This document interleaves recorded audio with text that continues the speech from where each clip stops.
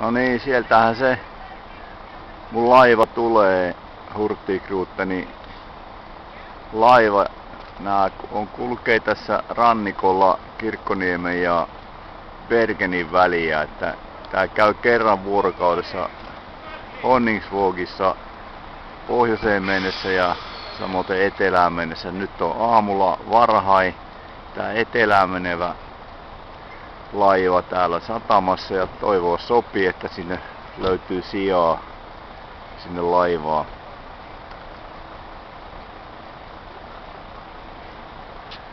Tää lähtee 6.15 sitten eteenpäin ja mä jään tuolla Säröissä pois joka on Skipotin pohjoispuolella 130 kilometriä Skipot, niin tässä on neljä satamaa toisin sanoen kolme, kolme välillä Hammerfest, Havoisund, Öksfjord ja sitten on se Säröi.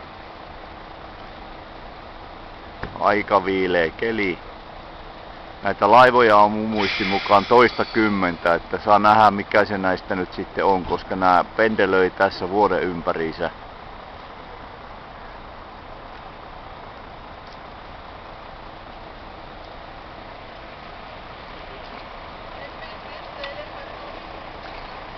Siinä on jo jono vähän muodostunut. Jos tänne autolla tulee, niin pitää varata etukäteen paikat, mutta minun tiedon mukaan pyöräilijöitä ei tarvii.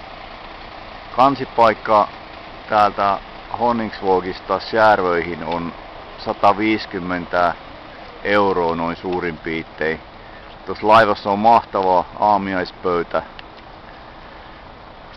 sen takia ei kannata missään muualla aamulla aamu, aamupalaa syödä. Siellä voi kaksi tuntia syödä niin paljon kuin jaksaa, jos vaan pystyy. Maksaa tosi eri hinnan sitten.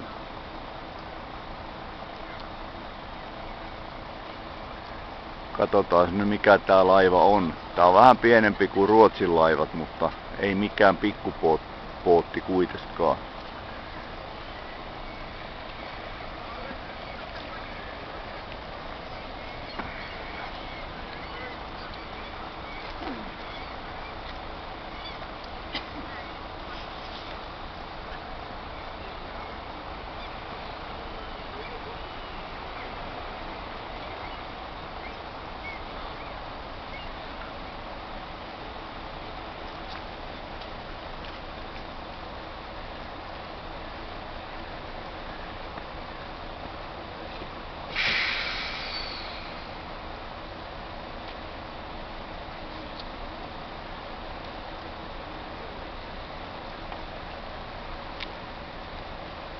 Joo, tää näyttää olevan Nordlys.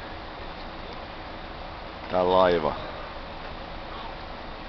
Hurtigruten.no, sieltä löytyy lisää tietoa näistä Hurtigrutenin linjoista. Ei näitä jostain syystä suomalaiset kovinkaan paljon käytä.